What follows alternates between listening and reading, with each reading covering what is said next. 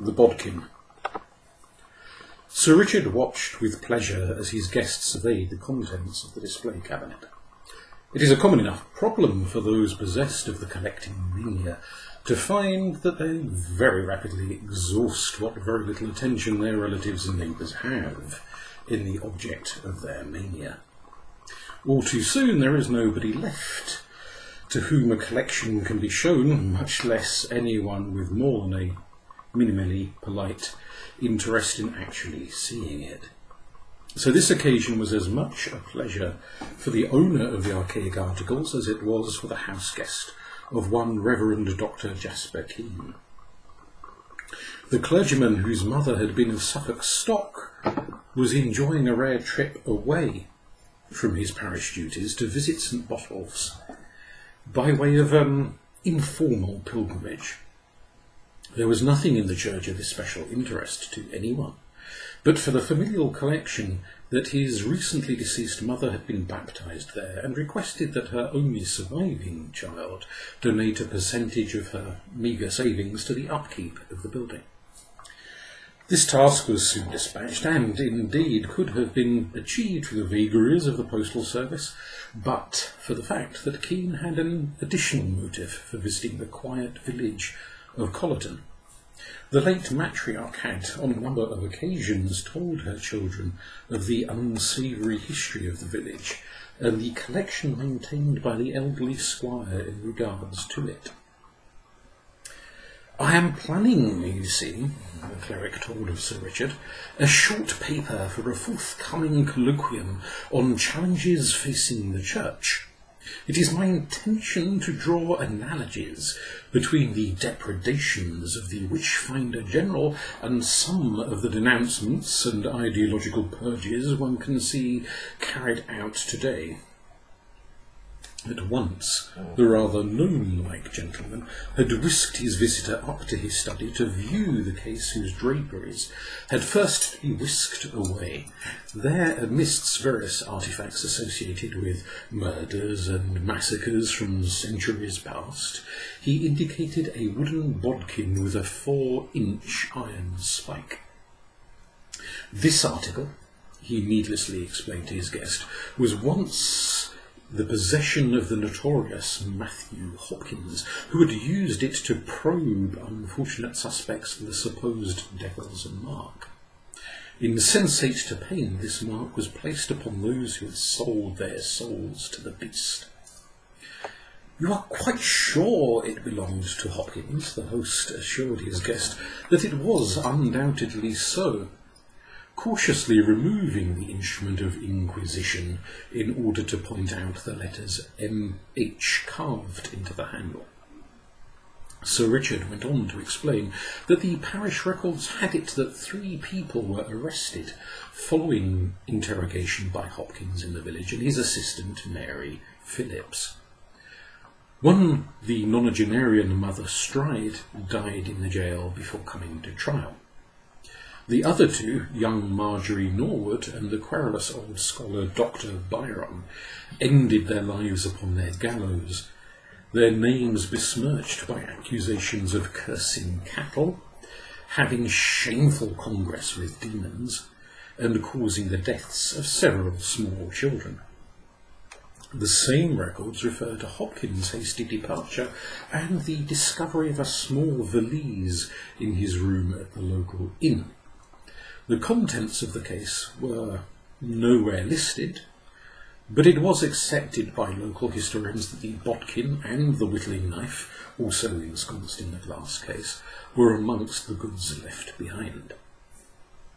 As the aged host rattled off an account of the wizened familiar spirit supposedly in attendance on the cantankerous Byron, the Reverend tilted the bodkin in the sunlight till his eye fell upon what looked like a knot in the grain. This he pushed, causing the spike to retreat into the handle. A charlatan! I knew it! At once the visitor launched into a voluble denouncement of Hopkins and his ilk that use deceptive wiles to terrorize the hapless and exploit the fears of the gullible. The exposition ended with a yelp when the spike popped back out of its chamber and pierced the hand of the cleric. A single droplet of blood fell upon the glass lid of the display cabinet. My dear sir, I, I had no idea it was still sharp. The ministrations of the gentry proved predictably ineffectual, but when the wound in Keen's palm continued to ooze blood even after their return to the drawing room, a servant appeared with a dressing. For the duration of the lunch, the puncture throbbed and distracted the Reverend from what should have been a most pleasant afternoon. That night, as Keen was readying himself for bed, the dull throb became a sharp and persistent pain. The dressing had become somewhat loosened over the course of the day, and the unfortunate man peeled it gingerly back to see the small hole still seeping blood, and the skin for an inch around it now discoloured and purplish. The bodkin had not appeared noticeably rusted, but he had heard plenty enough cases of blood poisoning suffered by careless farm labourers. He resolved to contact a, a general practitioner on his return to home, to London, the following afternoon. Normally, Reverend Keen did not dream, or at least he never remembered them.